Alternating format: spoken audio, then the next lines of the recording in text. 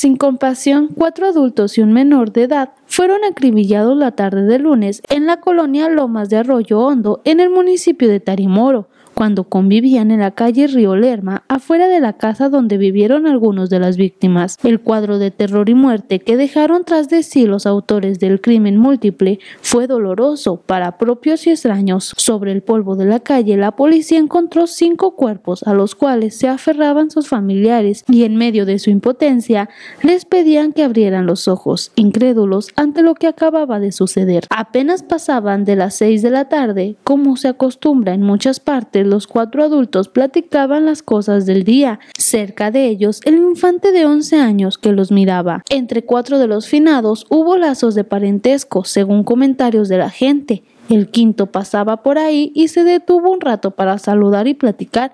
Era un campesino. Contaron quienes vieron que llegaron varios sujetos a bordo de un auto y armas en mano. Descendieron y dispararon contra el grupo. Al verlos las víctimas hicieron el intento de correr para escapar de la muerte, pero murieron a unos metros, alcanzados por las balas. Tras asegurarse de que habían cumplido su misión, los sicarios regresaron al vehículo y escaparon con rumbo indefinido.